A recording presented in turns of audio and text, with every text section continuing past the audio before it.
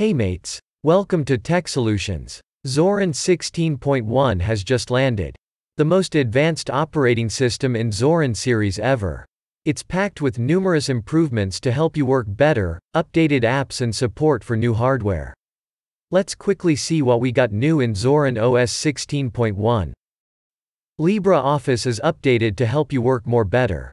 It's more fast and will work quicker and more effectively with new features and enhancements. Many of the pre-installed apps have been updated to work better and provide a more feature-rich experience. Overall the security has been made better and compatible.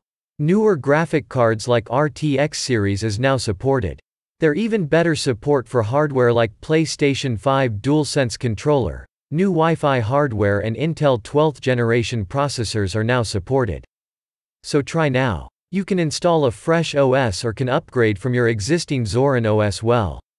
Keep watching Tech Solutions for more new content and updates. Good day.